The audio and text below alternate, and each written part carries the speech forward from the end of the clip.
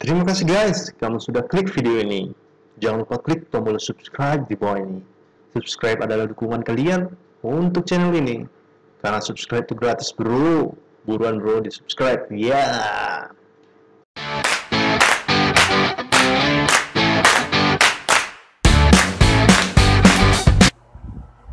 Assalamualaikum warahmatullahi wabarakatuh guys Apa kabar kalian semua? Oke Baiklah hari ini kita akan bahas mengenai Kenapa kalian harus masuk ke dunia Youtube.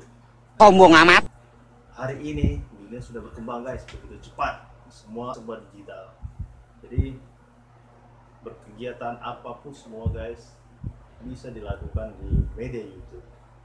YouTube memberikan tempat untuk kita semua guys Untuk berkreativitas Tanpa batas. YouTube dunianya orang kreatif.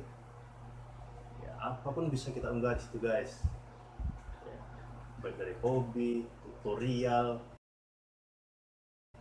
dan kegiatan trailer film musik apa saja bisa kita masukin dalam YouTube. Nah kalian tentu penasaran kenapa saya masuk dunia YouTube?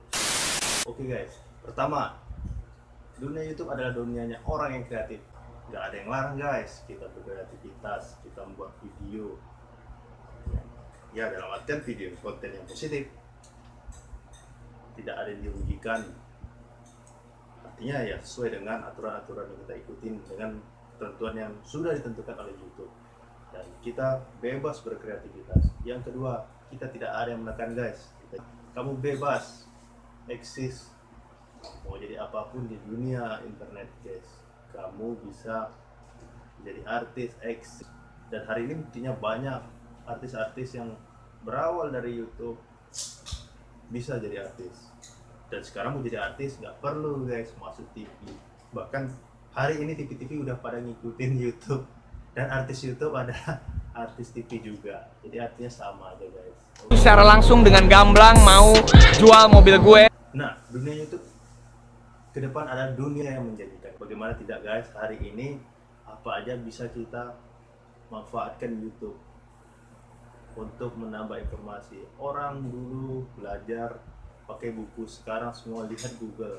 Lihat tutorialnya di YouTube guys. Apa aja mulai dari memasak, Oke, untuk kali ini saya ingin mempra buat sesuatu, bertukang, Tunjukkan cara menyambung papan seperti ini tanpa memperbaiki komputer, laptop, dan sebagainya, memperbaiki, memperbaiki motor semua bisa dilihat dari YouTube. Artinya YouTube memberikan ruang untuk kita guys. Alasan ketiganya, ya nggak usah munafik lah kita semua kan pasti ingin ya mencari penghasilan dari YouTube. Nah, Duitnya dong. Ya Allah be. Kalau mau duit inget aja. oleh sebab itu kita harus fokus guys. Apa saja yang harus kita lakukan untuk menjadi seorang YouTubers?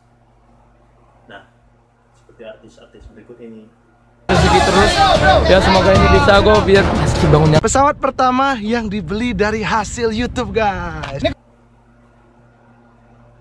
Mereka semua berproses guys. Mereka berproses dari nol ada yang mulai dari HP HP Android biasa ya bahkan ada yang rental alat-alat merekam ya sampai ada yang meminta jasa editing video ada yang editingnya di HP ya artinya sah-sah aja guys. Selama kita punya kemauan yang kuat guys apa pun bisa kita lakukan